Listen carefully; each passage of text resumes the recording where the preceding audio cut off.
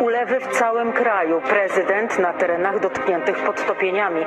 Dobry wieczór, Edyta Lewandowska. Witam Państwa i zapraszam na wiadomości. Zobaczmy, co dziś w programie.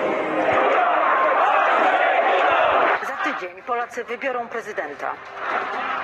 Oto są te wybory 2020. Jaka będzie w przyszłości Polska? Czy będzie Polską sprawiedliwości, uczciwości i rozwoju? Czy będzie Polską marzeń? Nam robisz tutaj? Kampania wyborcza na ostatniej prostej. walczymy, drodzy Państwo. To jest moment, w którym musimy się e, policzyć.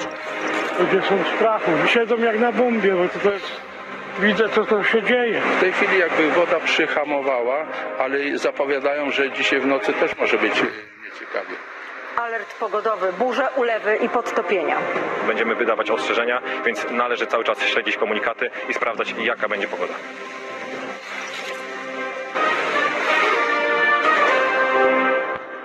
Podtopienia, zalania, uszkodzone drogi to skutek burz, które przeszły nad Polską. Minionej doby strażacy interweniowali ponad 1600 razy.